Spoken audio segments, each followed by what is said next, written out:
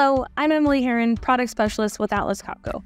Today we're going to be talking about how to use a scanner with source batches on the PowerFocus platform. I'll be using a PowerFocus 8 with 3.10.9 software, but what I'm covering applies to other products on the platform such as our IxB tools and tools control. Let's get into the software. In this video, we're going to be looking at the Sources tab to configure a source batch.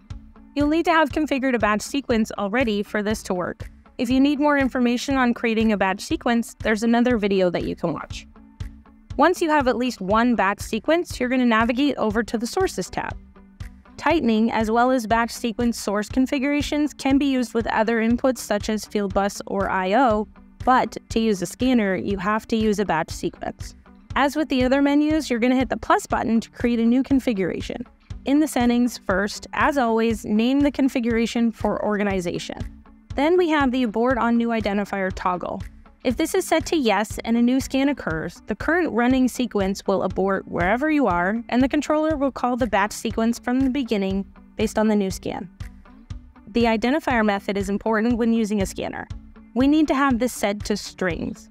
Number method is used for a single integer input, such as a socket selector.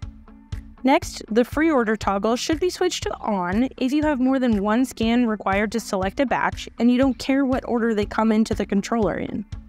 You might not want to use free order if your process calls for you to scan a product serial number and then a part verification to select your batch, as an example.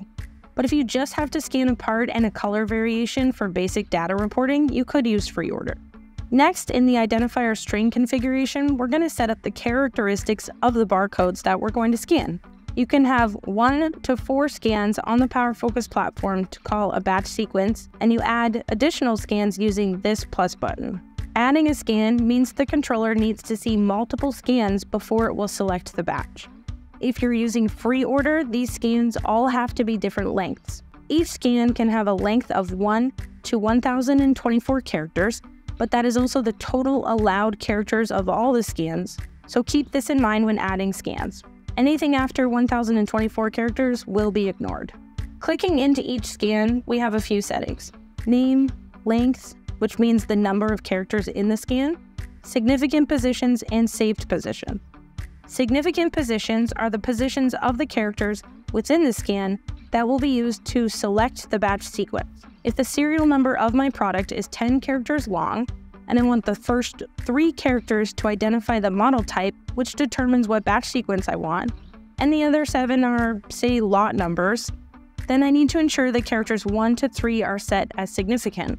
Saved positions can be used if there are characters within the scan that you don't need for data collection. If you leave this blank, the entirety of the scan will be saved with the results. But if, say in our example, you don't need to save the model type, just the lot numbers, then I can set this to only save characters 4 through 10. You might have noticed that I'm using dashes to denote a section of the scan. You can also use commas to select individual characters within the scan. So instead of 1 through 3, I could say 1, 2, 3. Or if I needed characters 1 through 3 and 5, I can set it like this. I'm just going to quickly repeat for a second scan. Scan two, nine characters, significant positions in this case. I'm only going to say position four and saved positions the entirety of the scan. I'm going to leave that blank. Apply my changes.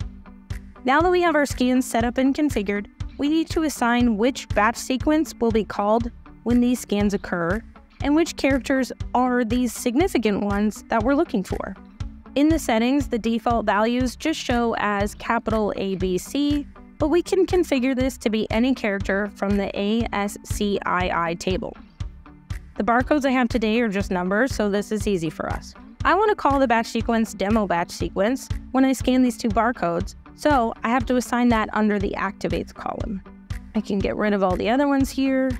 So as you can see from my barcodes, scan 1 starts with 1, 2, 3, and scan 2 in the fourth position has the number 6. So my string contains will be 1, 2, 3, 6. This is what the controller will be looking for to identify that I want to call this batch sequence for this model type. If I had another barcode for a different model type where the scan started with 987, then I would make another line for string contains 9876 to call a different batch sequence according to the needs of the other model. A small note here, if you have a scan that sometimes has a different character in a significant position, you can use a period as a wildcard. That's all the settings you have to configure for the source batch, but we still need to assign it to the virtual station as a task so that the controller is watching for these scans. Now that we have this assigned, we can go to the results screen and see an example of what to expect here.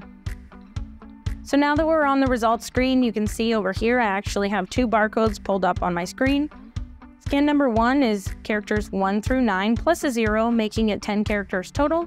And scan number two is 9 characters 9 through 1.